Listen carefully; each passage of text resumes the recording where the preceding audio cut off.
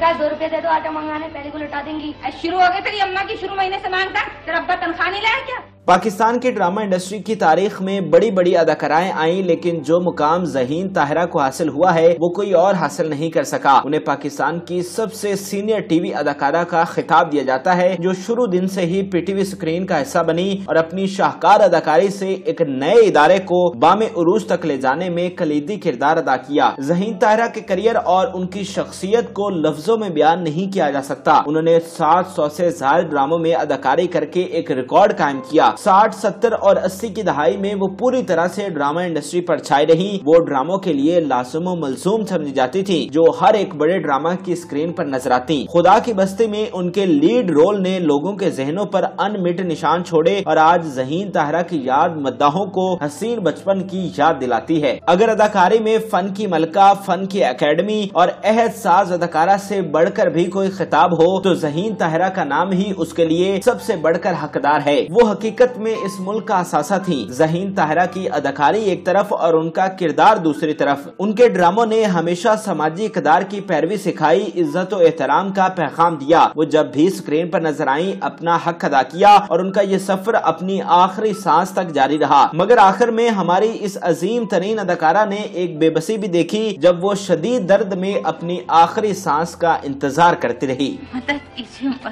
मौला की मौला तेरे जंगले पर ना अच्छा खाया ना अच्छा पहना जहीन ताहरा 1940 को लखनऊ में पैदा हुई चूँकि उनका ताल्लुक लखनऊ से था, इसलिए वो इंतहाई नफीस उर्दू बोलती थी। लेकिन इसके साथ साथ उन्हें पंजाबी और दूसरी कुछ जबानों पर भी अबूर हासिल था। जहीन तारा एक बहुत ही सुलझे हुए खानदान से ताल्लुक रखती थी, जो समाजी इकदार का रवादार था। उनका शोबिस से कोई ताल्लुक नहीं था, लेकिन जहीन ताहरा पैदाइशी फनकार थी। उन्हें बचपन से ही गाने का बहुत शौक था। वो जब भी कोई नई फ़िल्म देख आती तो उसके गीत घर में गुनगुनाती और कमरे में छुप कर डांस करती, क्योंकि जब भी जहीन ताहरा की माँ उन्हें देखती तो सजा के तौर पर कान खेचती थी। इसलिए वो छुप कर अपना शौक पूरा किया करती थी। जहीन ताहरा के लिए ये महज शौक ही था। उन्होंने कभी नहीं सोचा था की उन्हें इतना बड़ा मकाम हासिल हो जाएगा और वो पाकिस्तान की सबसे बड़ी अदाकारा बन जाएँगी।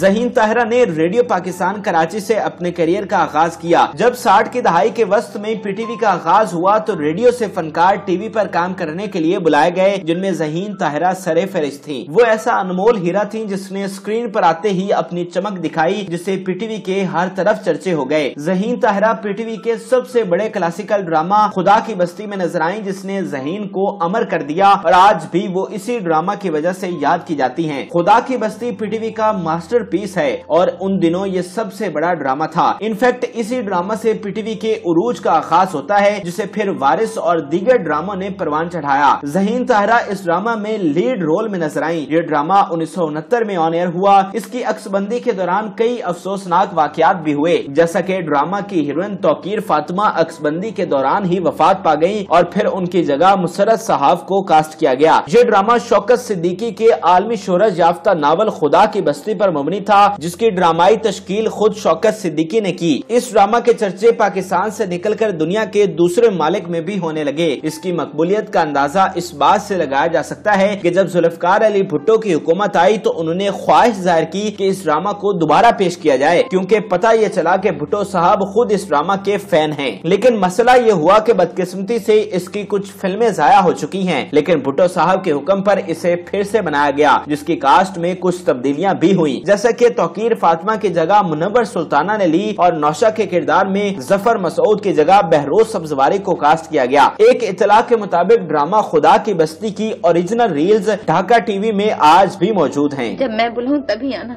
ये नहीं की गर्दन उठाए चली आ रही। बुरी बात होती है। पिछली जुमेरात को भी आपने इसी तरह सारा इंतज़ाम किया। इतना ढेर भर सामान मंगवाया?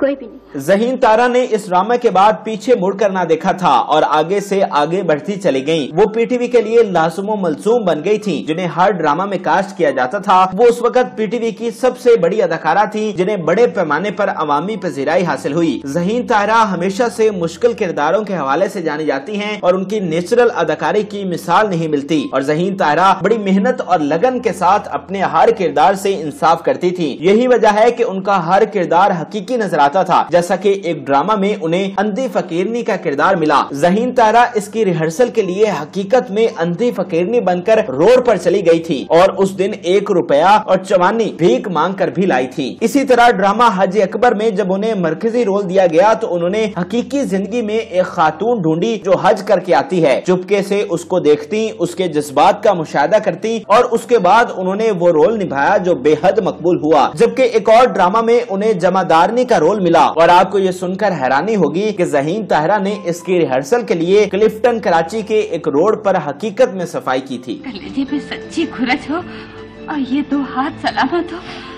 तो सितारे दूर नहीं हाँ।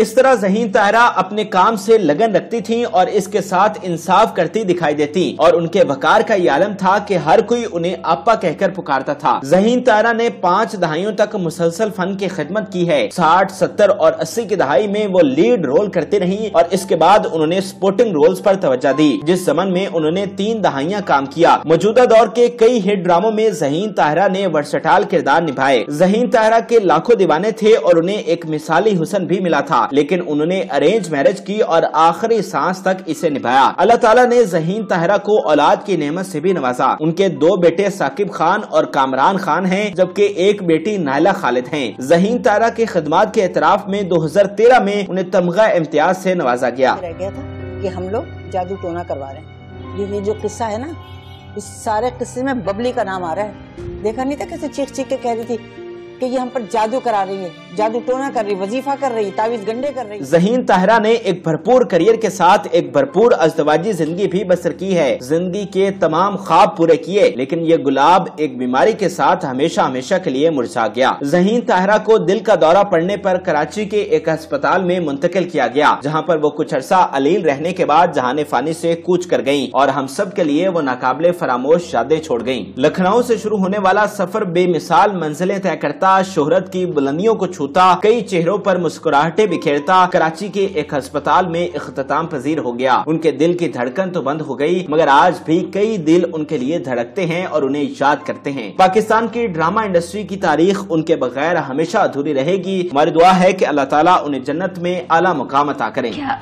अभी मैं अपनी ओला की चौखट पे पहुँच सकूँगी। नाजरीन, उम्मीद करते हैं कि आपको हमारी यह मालूमती वीडियो पसंद आई होगी। मजीद अच्छी वीडियोस के लिए हमारे चैनल को ज़रूर सब्सक्राइब कीजिएगा और बेल आइकन को ज़रूर प्रेस कीजिएगा ताकि हर नई आने वाली वीडियो आप आसानी देख सके और इस वीडियो ऐसी मुतालिक भी कमेंट में अपनी राय ऐसी ज़रूर आगा कीजिएगा।